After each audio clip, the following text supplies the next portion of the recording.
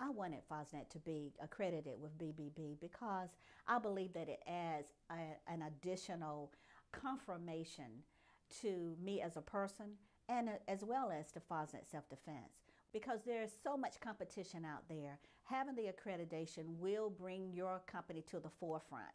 And I just really believe that adding that uh, assurance to your customers will uh, help your business grow. Trust matters.